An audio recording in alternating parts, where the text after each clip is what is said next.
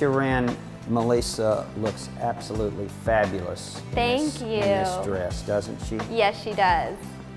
She's wearing the Sienna dress in neon.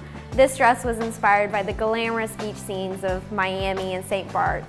It's perfect for any woman who wants to stand out in the very best way. It's easy to wear. You can put it with heels or with flats, day to night, whether you're dancing on the tabletops or strolling the beach. It's perfect for any occasion. Melissa, I absolutely love the jewelry that you've coordinated with this outfit. Uh, could you give the viewers some idea what this is all about? Yes, I love this jewelry too. It is Taylor and Tessier, a line that I found in Aspen, Colorado. And we started carrying it. It's been a huge hit here. Um, I love the materials that they use, the leather, the gold-plated wire, the semi-precious stones, horn.